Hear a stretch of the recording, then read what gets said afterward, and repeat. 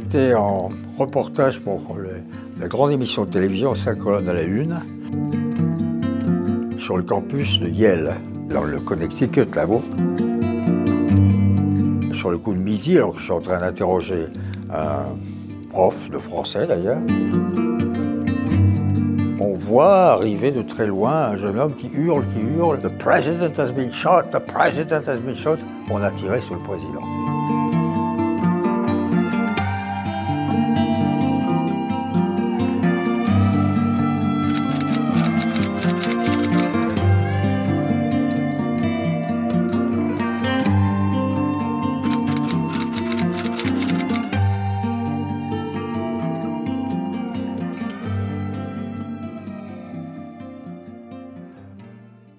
Là, tout essoufflé, il s'arrête et il nous explique que euh, Kennedy vient d'être euh, flingué.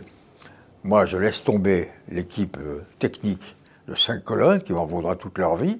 Je reprends même leur voiture et je fous le camp tout de suite pour New York. À la minute où je suis monté dans cette voiture pour aller vers New York, il y avait à peu près deux ou trois heures de route. J'avais évidemment allumé la radio. La radio ne faisait parler que de cela. Et euh, à l'époque, il n'y avait pas non plus tous les éléments de communication qu'il y a aujourd'hui. Néanmoins, on voyait, je le voyais à travers mes, vitres, tout en conduisant, que le pays peu à peu prenait conscience de l'événement et du deuil.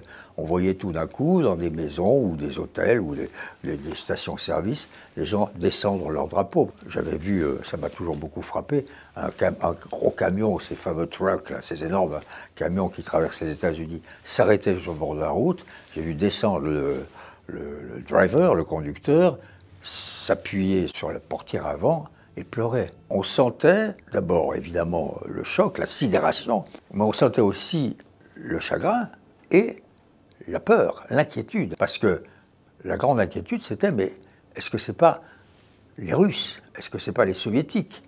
Est-ce que c'est pas les Cubains? D'où ça vient? Est-ce que le pays est en danger? Les gens ne parlaient que de ça. C'est un moment qui saisit et qui, d'une certaine manière, unit totalement le pays. Et je prends un avion qui m'amène à Dallas le lendemain matin. J'arrive dans le premier avion. J'ai jamais volé dans un avion aussi silencieux. Vous aviez tous les gens qui étaient là avec le journal. Et je débarque. Je monte dans un taxi pour lui dire emmenez-moi directement au quartier général de la police de Dallas. Et je lui dis quand même quelle tragédie. Et il me répond avec son accent texan Well, it was about time. Ce qui veut dire ben, il était grand temps, monsieur. J'ai donc fermé ma gueule. Et je suis arrivé à Dallas Police Headquarters où là il y avait déjà l'équivalent de 150 à 300 euh, journalistes américains. On était les deux seuls Français. Il y avait un garçon qui malheureusement a disparu aujourd'hui, qui était correspondant de l'AFP, François Peloux, et moi.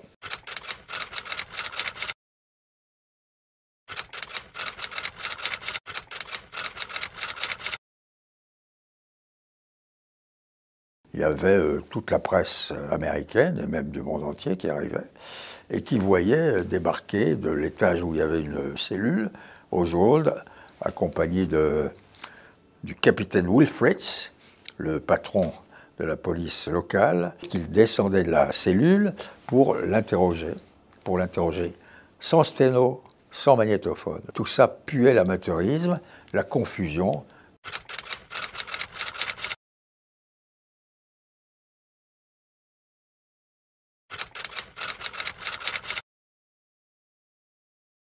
On en est au stade où on tape encore à la machine à écrire et on sert du téléphone. Et d'ailleurs, le problème majeur, c'est avoir accès à un téléphone. Alors, je m'étais mis dans un tout petit hôtel qui était pratiquement face au quartier général de la police et j'avais soudoyé littéralement le, concierge pour que j'ai accès au téléphone quand je voulais. Je n'avais pas de téléphone dans ma chambre même. Vous téléphonez pour dicter votre article. Plus, il y a décalage horaire, bien entendu. Je- au Texas, il y a 8 heures euh, ou 7 heures, je ne sais plus, de différence avec Paris. Donc là aussi, ça signifiait que ben, personne ne dormait, ni ceux à qui je téléphonais, ni moi-même.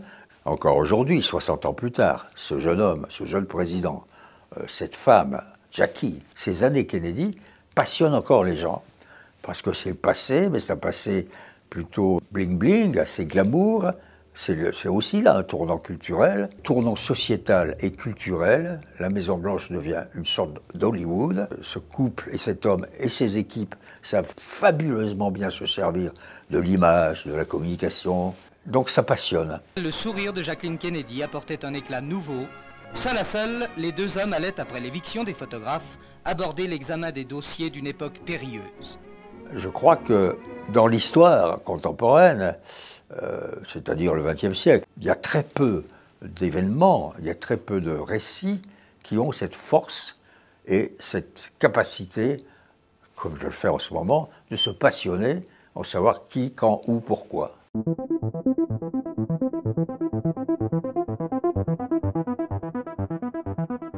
L'événement est tel que c'est pas seulement qu'il y ait complot ou pas qui compte. Ce qui compte, c'est que un jeune président est assassiné en pleine gloire, euh, en pleine fin de guerre froide avec Khrouchtchev, et que c'est un tournant historique dans les 60s, dans les années 60, qui est la grande décennie des États-Unis, et que ça change tout. Car encore une fois, si on fait de l'Uchronie, s'il n'avait pas été flingué, Kennedy, qu'aurait-il advenu La guerre du Vietnam aurait-elle pris cette ampleur? On ne sait pas. Donc c'est un tournant historique capital.